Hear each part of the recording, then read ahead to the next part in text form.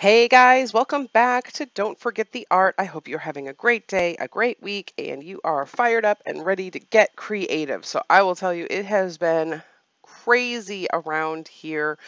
Um, we're still in a construction zone, but we're pushing through. We've been making a lot of awesome progress lately.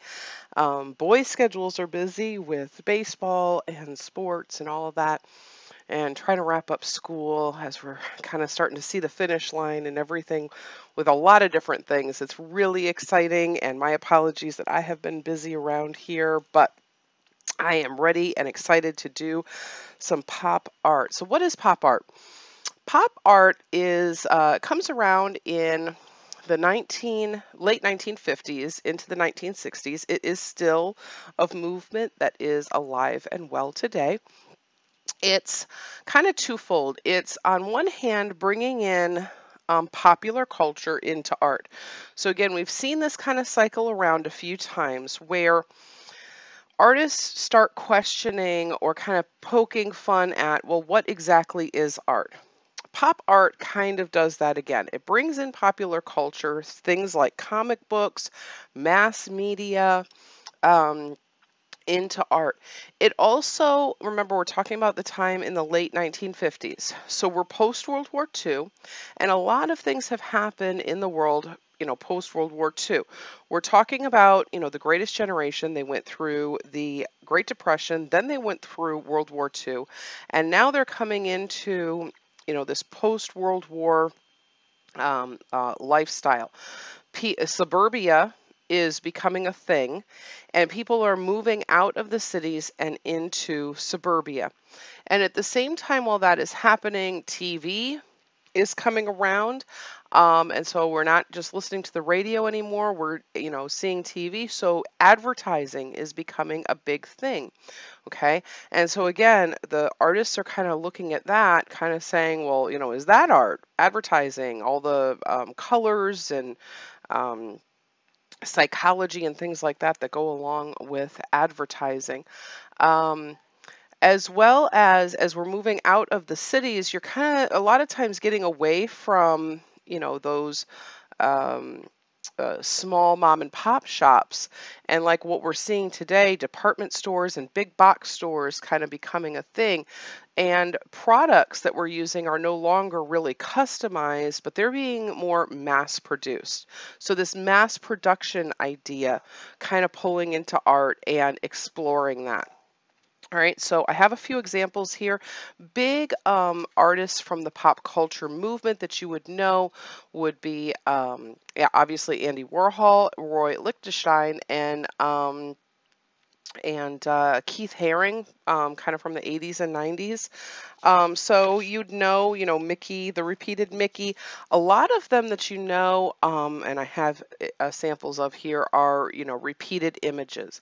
Um, but that's not necessarily the case. Um, uh, you know, there aren't all repeated. Um, it's just some uh, some pieces that I figured you would know right away by seeing it, like the Campbell soup cans, and of course the, you know, multicolored Marilyn Monroe's, both of those from Andy Warhol. So I decided to play a little bit with this. I was also kind of um, uh, challenged by a girl. We were talking about art, and she was saying her favorite fruit is a pineapple, which I told her I had never painted a pineapple before, and she challenged me to paint a pineapple. So I found these. I've got some new canvases. I was putting them away, and I found these sitting around. These are some six inch by six inch canvases. Um, so I am going to do um, an acrylic painting. Now you do not have to do an acrylic painting. You can use any medium for this project. It will work just fine, whether you use markers, crayons, um, colored pencils, paint, um, you know, whatever your heart's desire. The biggest thing is to just have fun. Find popular culture and bring it into your um, your art. It could be as you know complex as maybe a um, a, a modern figure. So a lot of times you'll see art sometimes done in a realistic way, but if you see it kind of done in, you know, a fun way, multi multiple colors, things like that, that would be more of pop art, bringing in popular um, figures from past or present um, into your art, that would be pop art. A cartoon style like we showed, that would be pop art. Um, although we are going to do a cartoon um, uh, uh, style coming up soon. Um, but that would be, uh, you know, where uh, that would uh, lie in with popular culture.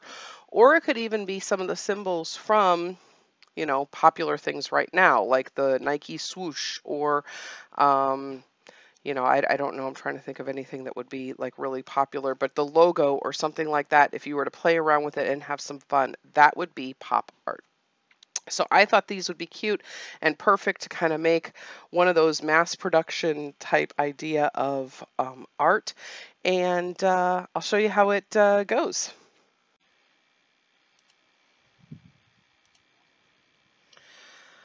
Okay guys, so the first thing I did in the center of um, the, each of the paintings was to paint a diagonal of white. Why did I do that? Well, I'm going to use yellow on the top of each of these pieces, but I'm going to make the bottom part of that, um, of each of them a little bit different color as you're going to see. One's pink, one's going to be blue, and one is going to be purple. Mixing yellow and blue is going to give me green, and mixing yellow with purple, those two are complementary colors, so that's going to actually give me brown. So while the pink and the yellow would actually give me a very beautiful kind of um, uh, melon, uh, orangey color, and that would be awesome. Mixing the other two is not going to give me as pleasant of a color as I would really want. So I put a streak of the white in between the two in order to prevent that blending from happening and kind of create a nice um, merge of the colors from each side.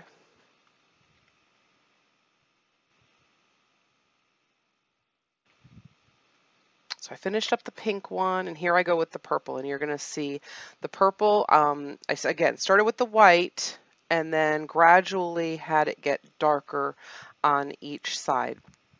And again, I'm going to do the same thing with the blue. Um, how you do your blending is entirely up to you. Blending is something that I'm still working on as an artist. Um, uh, I, tend to um, blend differently than an artist should, which is not a bad thing. It's just a different way of doing it um, and something that I am continuing to work on to perfect uh, my blending. Um, but that's what it is.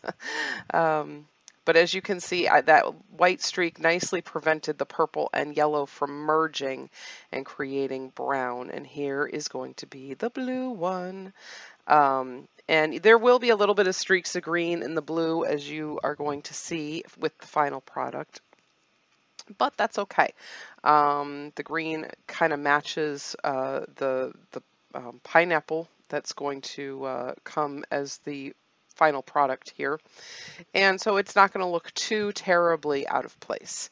Um, and you'll find that too when you do sunsets. A lot of times you might be doing something like this one here in particular, when you're maybe doing a sunset or um, you know a beach scene or something like that. Especially sunsets or sunrises. If you look carefully, you will see a green streak or so in the in the clouds. Okay guys, so my backgrounds have um, dried and so I have these three, these um, cute three little um, backgrounds now. Now, I just wanted to take a quick minute to tell you what I am going to do next. So I have sketched out with a watercolor pencil the um, pineapples that I'm going to put on these little uh, canvases. Um, and I'm going to go over it first with white. Why am I going to do that? Some of the colors that I'm going to use for the pineapple, like the greens and the yellows, um, are not, um, they're too translu transparent, translucent um, to um, go over some of these darker or bolder colors. Okay, so I just wanted to take a minute because I know this comes down to um, personal preference of what you choose to do as the artist, okay? A lot of people say, save the paint, you know, just leave this part white and go around it. I don't do that. Um, you can, there's nothing wrong with it, but I'm going to tell you why I do this the way I do. I do my entire background when I know that I want it to look like it's one complete background. So for example, if I'm doing like a beach scene or something like that and maybe put a beach umbrella or something um, in front of it, I don't go around the umbrella. I would do the entire background first and then layer my things on top of it. So it appears as though it's a continuous um, a continuous line. It doesn't look broken, okay? And that's what I have here. Um, I know artists who do it the other way, and that is completely your choice. There is no right or wrong way. This, you know, this is one of the, another one of those things with art where it's just a matter of preference.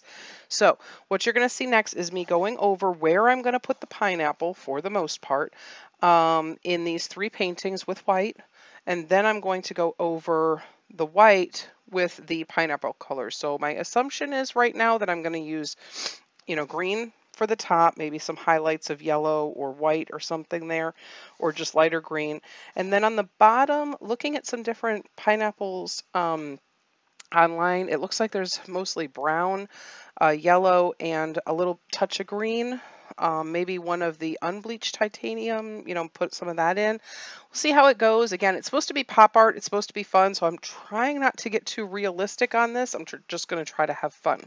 All right. I'll see you on the other side, guys. Okay guys, so the first thing that I did, as I mentioned, I am going to paint where I'm going to put the pineapples white. This will give me a blank canvas um, in order to um, put my pineapple in place without having to fight with the colors taking over. As you can see, it completely whites out, blanks out everything that I painted behind it. Now, you can do the any background, you know, any painting you do, you can do the background differently. Um, that is not a problem. Um, and just go around where you're going to paint. This is just what works for me. Now, as you saw on the blue one that I did there, I actually made a mistake. Some of the paint got on the side where I didn't want it.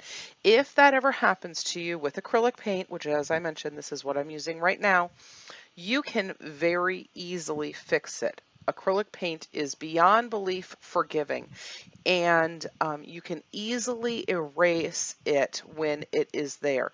So while it was still wet, I cleaned off the brush or you can get a brand new brush, you know, that's nice and clean, wet it, and then essentially use it as an eraser and erase that wet paint away. And as I keep saying, wet paint.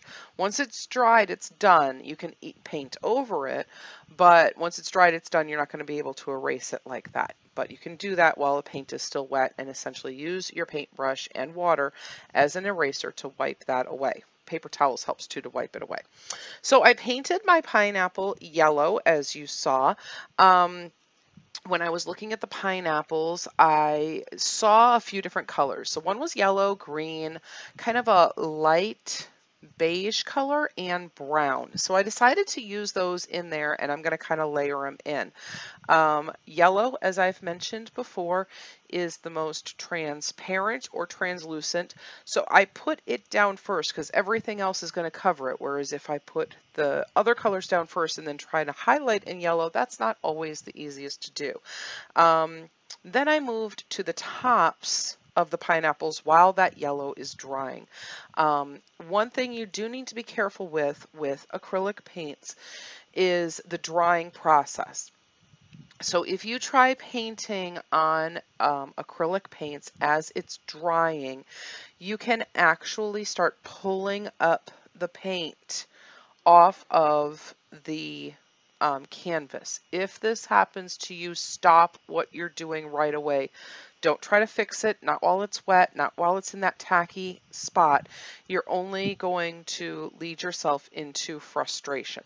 Okay, so usually when you paint with acrylics, we've talked about this before, but if you're new to it, you need to kind of plan how you're going to um, paint um, so that you're working on places that are dry or wet. If it's in that drying process, the paint will actually start sticking to your paintbrush and you will pull it right up off of the canvas.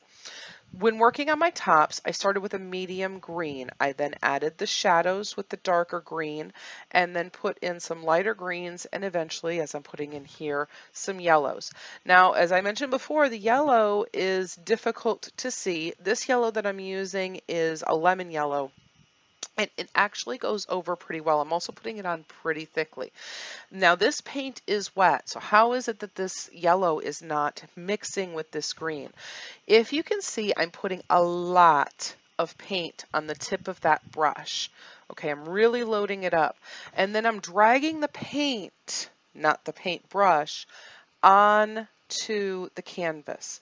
This creates a textured look, which I have told you in the past, I do like texture in my paintings, but it also means that my paintbrush is not actually touching the, the um, uh, paint and so it's just laying the paint on. It's not mixing it and blending it on the canvas.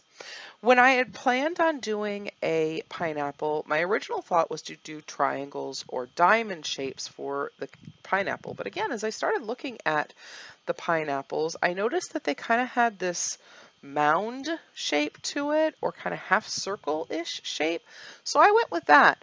Um, and I'm not going to lie, there was a few times where I was hearing a certain cartoon song about a pineapple under a sea as I was painting these.